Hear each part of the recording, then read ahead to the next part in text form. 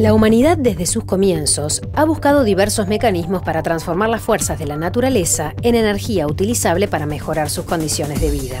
La energía eólica, originada por el movimiento de las masas o corrientes de aire, es una de las fuentes más antiguas de energía que el hombre ha utilizado, desde las embarcaciones a vela y más tarde con los molinos de viento, que buscaban transformar la fuerza del viento en energía mecánica. En la actualidad, una de las formas de utilizarla es transformándola en energía eléctrica.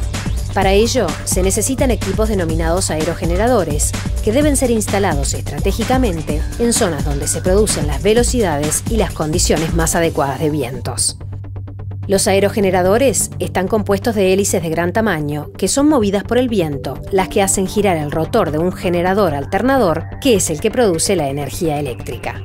Si comparamos los antiguos molinos con los actuales, vemos el cambio de tamaño y forma de las aspas y los materiales que las constituyen, e inclusive la disposición de su eje, comenzándose a utilizar recientemente aerogeneradores de eje vertical en lugar del tradicional eje horizontal. Estas modificaciones, conjuntamente con la instalación de los molinos en grupos denominados parques eólicos, contribuyen a que la generación de energía eléctrica a partir de la energía eólica sea más eficiente y a la vez viable. La energía eólica, si bien no sustituye completamente otras fuentes, dada la irregularidad en su generación, constituye una forma de energía abundante, limpia y renovable, por lo que se está incorporando paulatinamente como una de las fuentes de generación ineludible.